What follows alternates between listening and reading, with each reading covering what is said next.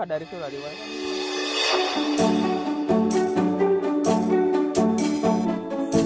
Ah. Mana bos? Eh.